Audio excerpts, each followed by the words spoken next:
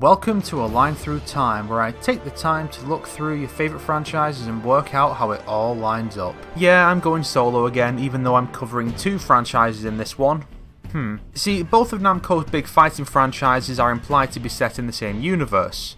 What? No, well, maybe, but no, Tekken and Soul Calibur. Don't worry, I'll explain as we progress. In December 1994, Namco released the arcade fighting game Tekken. Directed by Virtua Fighter designer Seiichi Ishii, the game's premise is very standard fighting game fare but with a twist to add more of an interesting arc. Our hero, Kazuya Mishima, was thrown off a cliff when he was 5 by his father, Heihachi, head of the powerful Mishima Zaibatsu. Kazuya made a deal with the devil to obtain power so he could seek revenge. 21 years later, Kazuya returns to compete in Heihachi's King of Iron Fist martial arts tournament. The two face off in the tournament's climax on the very same cliff from which Kazuya was thrown. Upon winning the battle, Kazuya throws his father off the cliff and takes over the company. The game proved successful and had a sequel released in under 8 months, Tekken 2. Two years later, Kazuya hosts a second tournament and the seemingly indestructible Heihachi makes his return. Kazuya has become possessed by the devil and is using the Zaibatsu for various illegal activities. Heihachi wins the tournament and defeats Devil Kazuya, dropping his body into a volcano to end him for good. Shortly before this, a woman named Jun Kazama has an encounter with Kazuya, resulting in a son named Jin. The Kazamas have a special holy power that is never explained, nor is it clear how and why Jun slept with Kazuya, with different interpretations ranging from love to mind control to standard rape.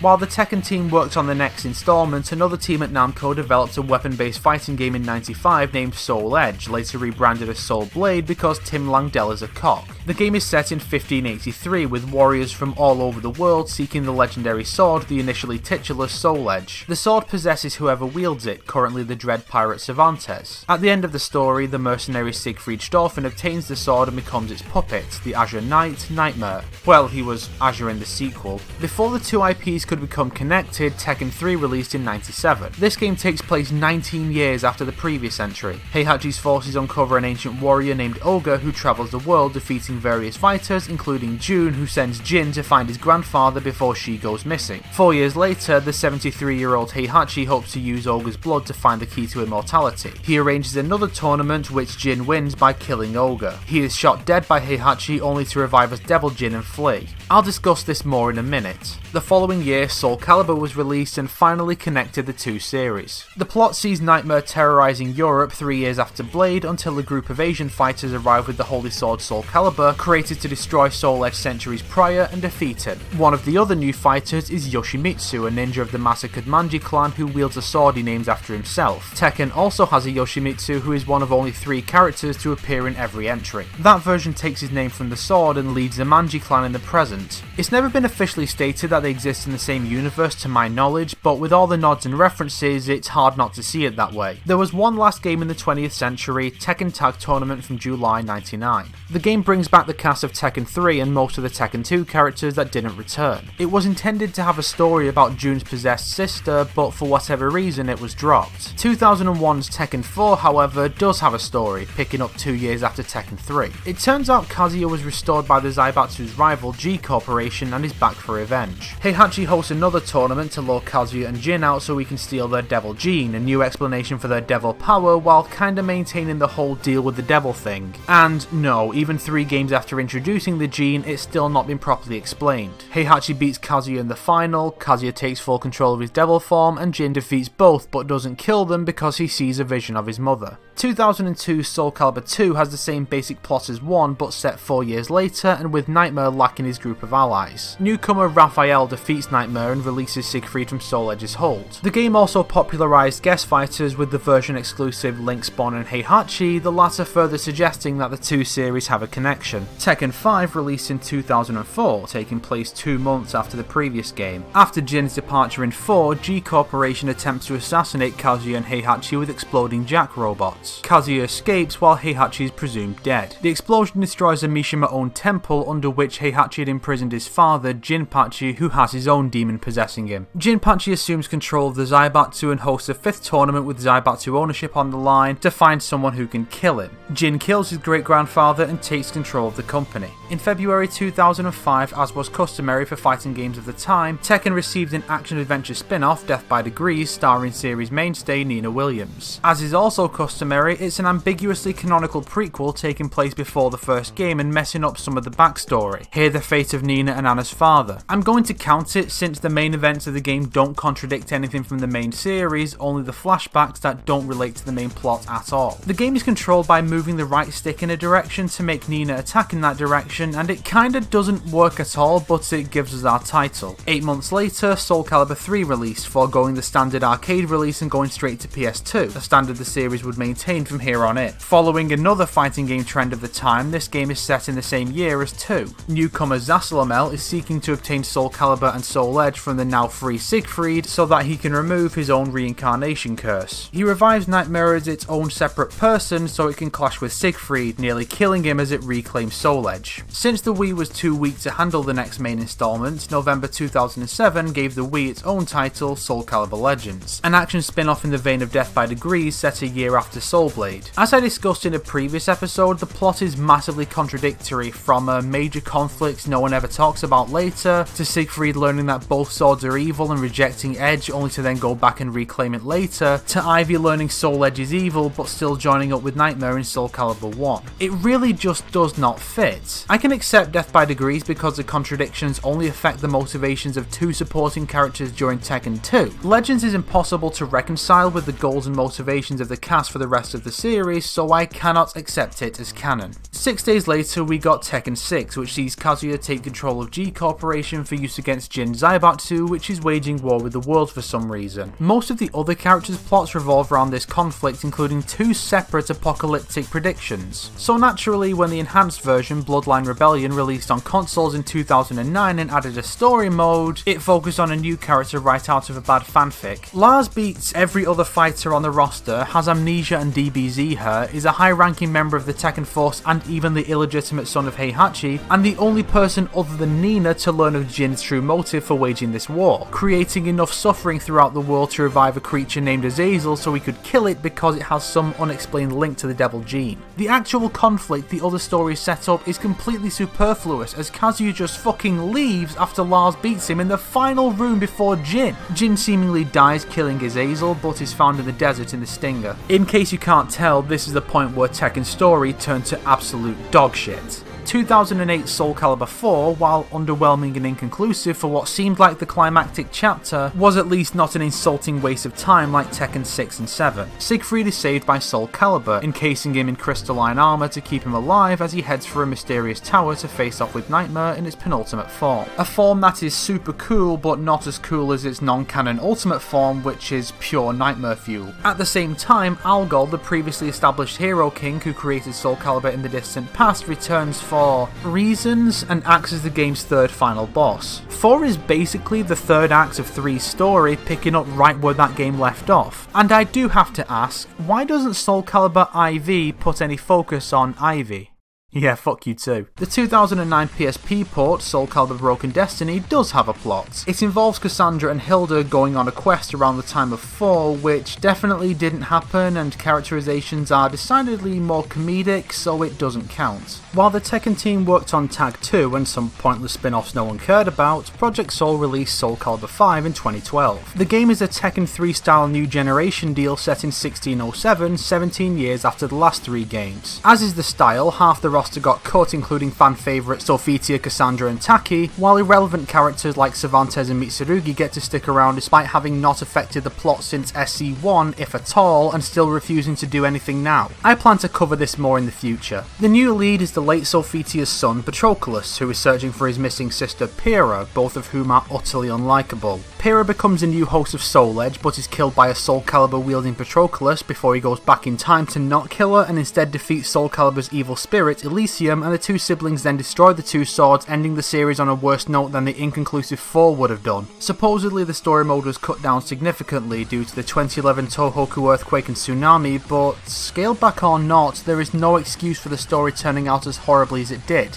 And also, fuck you Namco for killing off the best character off screen. 2014 then gave us the mobile spin-off Soul Calibur Unbreakable Soul, whose story, from what I know of it, doesn't openly contradict anything from the core series, plus it makes a certain plot point not shit, so I'm counting it. Because the Project Soul writers were having an off day that lasted half a decade, they decided Sophitia's sister Cassandra should just disappear into a void at the end of 4 and never be seen again. Someone evidently went and slapped them all across the face afterwards because this game is about her adventures with Edgemaster between parallel universes in the Astral Chaos, so this goes between 4 and 5. Tekken 7 would eventually release in 2015, though Namco would continue their annoying trend of releasing an updated arcade port later and only then make a console port, finally releasing with an actual plot in 2017. Picking up sometime after 6, seemingly right after, given Jin's situation, the story delves into the backstory of Heihachi and Kazuya, finally revealing that the Devil Gene is not a Mishima thing but is from Kazuya's mother Kazumi, whom Heihachi killed shortly before the cliff incident. Kazumi's plot makes absolutely zero sense and canonically involves Akuma from Street Fighter and it's fucking trash, so I'll just leave that for the eventual critique or wasted potential on the game. The important thing is that after the game's poor attempt to make Heihachi sympathetic, he and Kazuya have their final battle in a volcano which Heihachi loses and is then thrown into the lava. Jin is now awakened from his coma and preparing to face off with Kazuya in Tekken 8, making 7 feel like a Ground Zeroes we had to wait almost a decade for. Good job. And before you say no, Akuma's presence does not make Tekken part of the Street Fighter shared universe, nor does it make Street Fighter Cross Tekken canonical to either series. There is simply a new incarnation of Akuma who is native to the Tekken universe. That's it. Tekken 7 also received a tie-in comic by Titan Comics, but it doesn't gel with 7's story at all and half the characters die horribly. Yeah, the ones that get possessed by Angel come back, but King doesn't. So it actually branches off after the previous installment, similar to the tie-in manga 6 and the CGI movie Blood Vengeance. But amidst the edgy lines about Panda ripping people's faces off, the comic did give us this little gem. I fucking concur. Finally, this brings us to today's release, Soul Calibur 6, a reboot of the Soul franchise returning to the events of Soul Calibur 1. As of right now, it's unclear whether it's just an alternate history branching off after Soul Blade, or if there's some time travel shenanigans going on a la MK 2011. Hell, it could be a sequel to Legends for all we know. So for now, we'll assume it's the former and focus on the original timeline. So when exactly is Tekken set? Richard Williams' grave in Tekken 2 and 3 does state his date of death, which originally occurred between 1 and 2, but being pre-rendered in the SD era, it's too blurry to make out. The only other piece of evidence would be the Tekken 4 instruction manual, which places the Tekken Force raid on G Corporation on Friday the 25th of December. The closest year to the game's 2001 release, where Christmas Day fell on a Friday, would be 1998, and the next would be 2009. With nothing else to use as a basis, I'll say that Tekken 4 is set in 2009. Remove 2 years for Tekken 3, 2007, 19 years for Tekken 2, 1988, and 2 more for Tekken 1, 1986. No one apparently ages between 4 and 7, so they're all still in 2009. Death by Degrees doesn't have a solid placement, so we'll just say it's the same year as 1 for the sake of simplicity. And now we have our classic timeline. Huge thanks to my buddies Drake and the Shelfables for their help in verifying that Tekken 4 info. Hopefully, Soul Calibur 6's story will be amazing and give me enough material to make a follow up in the near future. Probably not, though, this is a Namco Bandai fighter after all. So, without further ado, the Soul Calibur slash Tekken timeline goes a little something like this. Ancient Past. The hero king Algol uses the sword Soul Edge to end a period of war. His son, Arcturus, takes the sword and becomes possessed. Algol is forced to kill his son and sacrifices his own life to create Soul Calibur to destroy Soul Edge. 6th of February 1568. Siegfried Schtauffen is born to Frederick and Margaret Schtauffen. 1583. Soul Edge's current host, Cervantes de Leon, is defeated by Sophitia Alexandra and the ninja Taki. Soul Edge is taken by Siegfried and the sword possesses him, transforming him into Nightmare and releasing the evil seed. 1586. Nightmare enacts a reign of terror across Europe. Kilik, Chai Xianghua, and Maxi assault Nightmare's stronghold and defeat him with Soul Calibur. Siegfried is temporarily freed from Soul Edge's hold. 1590. Soul Edge regains control of Siegfried until he is defeated by Raphael Sorel. Siegfried attempts to destroy Soul Edge with Soul Calibur, creating the Soul Embrace. Zasalamel revives Nightmare as a new entity to obtain Soul Edge for him. Siegfried and Nightmare clash, resulting in Siegfried's near death and Nightmare reclaiming Soul Edge. Nightmare servants Tira abducts Sophitia's daughter, Pyrrha. The Tower of Remembrance rises from the earth, and Siegfried and Nightmare have their final clash there, ending with Nightmare's death and Soul Edge being shattered. Cassandra Alexandra becomes trapped in astral chaos where she teams up with Edgemaster to travel the void. 1607. Pyrrha becomes the host of the newly restored Soul Edge, but her brother Patroclus defeats her with Soul Calibur. The two siblings destroy the two blades, ending their threat for good. 1936. Heihachi Mishima is born to Jinpachi Mishima. 1961, Kazuya Mishima is born to Heihachi and Kazumi Mishima. 1965, Kazumi attempts to assassinate Heihachi but is killed in self-defense. Kazuya attempts to seek revenge but is defeated and thrown off a cliff. He makes a deal with the devil to obtain power. Heihachi then seals Jinpachi beneath the Honmaru temple. 1986. Nina Williams is hired by MI6 and the CIA to infiltrate the criminal organization Kometa. Nina defeats the group's leaders and escapes as their ship explodes. Heihachi announces the first King of Iron Fist tournament. Kazuya enters and faces Heihachi in the final. Kazuya throws Heihachi off the same cliff he had been and takes control of the Mishima Zaibatsu. 1988. Kazuya, now possessed by the devil, hosts the second Iron Fist tournament. He has an encounter with Jun Kazama, resulting in her becoming pregnant. Heihachi wins the tournament and defeats Devil Kazuya. He drops Kazuya into a volcano, killing him, but his remains are quickly recovered and revived by G Corporation. Nine months later, Jin Kazama is born. 2003. The Tekken Force uncovers an ancient warrior named Ogre who travels the world challenging powerful fighters. He attacks Jun who disappears, sending Jin to find Heihachi. 2007. Heihachi hosts the third tournament to acquire Ogre's blood. Jin emerges victorious and is shot dead by Heihachi. Jin awakens his devil gene and escapes. 25th of December 2008. During a Tekken Force raid on G Corporation to reclaim Kazuya's remains, Heihachi learns of Kazuya's revival. 2009. Heihachi hosts the fourth tournament to draw Kazuya and Jin into the open. Heihachi wins the tournament, but Kazuya acquires control of his devil powers and both are defeated by Jin. G Corporation attempts to assassinate Kazuya and Heihachi with Jack 4 robots, but Kazuya escapes and Heihachi is presumed dead. The ensuing explosion awakens the now possessed Jinpachi, who takes control of the Zaibatsu. Two months later, Jinpachi hosts the fifth tournament to find a warrior that can kill him before he is fully consumed. Jin defeats and kills Jinpachi, taking control of the Zaibatsu himself. He then learns of Azazel, an ancient creature related to the Devil Gene. He uses the Zaibatsu to wage global war to awaken Azazel so he can kill it. Kazuya takes control of G Corporation for use against Jin. Jin's plan succeeds, but he disappears and is presumed dead. Heihachi resurfaces to reclaim the Zaibatsu. He battles Kazuya and is finally killed. Jin resurfaces to gather allies for the inevitable final battle with his father.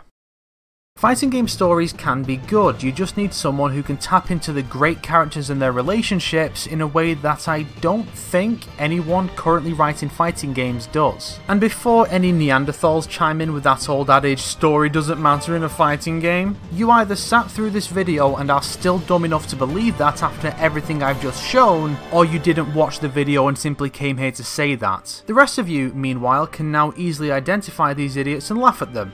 Good day. If you liked this video, why not subscribe and support me on Patreon like these fine people here? If not, then make sure to share it with your enemies so they can suffer along with you.